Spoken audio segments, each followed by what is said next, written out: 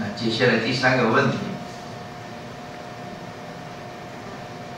第三个问题是，那师傅您出家的时候犹豫吗？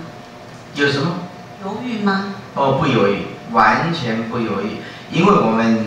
啊，为什么不犹豫呢？因为有读过大学四年，研究所两年，已经有六年的佛学基础了。在我走上这一条路的时候，我大学二年级就下定决心要走走上这一条路。可是，在大学，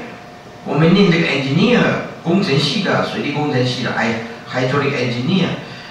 这个将来当工程师的，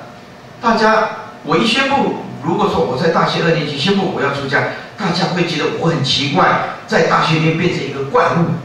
所以我不希望别人投给我异样的眼光，我希望用最平常的心啊，冷静的心，所以我我在大学二年级下定决心要出家的时候，我就绝口不谈，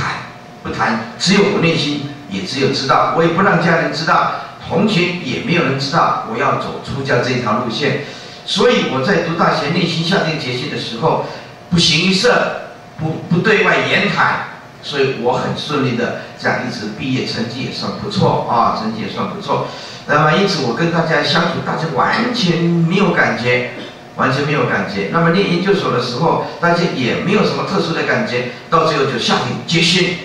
啊，大家哎呀吓一跳，哈吓一跳，哎，所以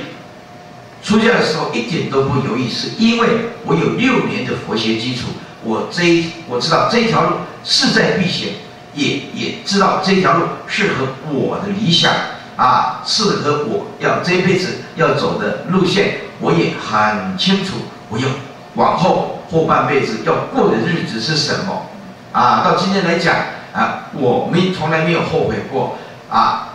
我这条路走对了，我非常的正确的选择了这一条路，我也很安慰。那么造成今天呢，啊，弘法利生以来啊，无量无边的众生啊，能听不到正法，带动了整整个台湾的佛教。还有世界啊啊，华人世界的佛教，我也很高兴。像最近呢，像像哈佛大学写信来来赞叹师父，然后他也请示一些佛法，还有德国的法学博士，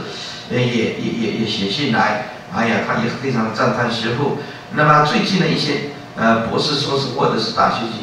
大学的教授，也都这样一面过来，非常的认同师父。那么我觉得啊，这辈子过得非常有意义。非常有意义，总算没有白费这四十年来的辛苦，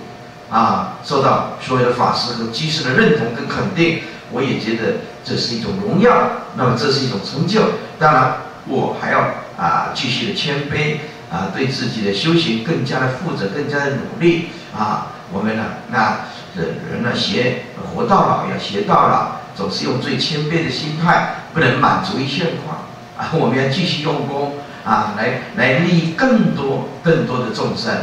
啊，所以我出家从来不犹豫，是因为我出家前已经有六年的佛学基础了，啊，这个不是突然的选择，也不是突发的状况，是完全有心理准备的。